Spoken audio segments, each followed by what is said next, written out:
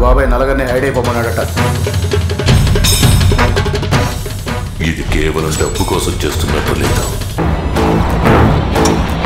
అది గనక నీ వల్ల పడిందో?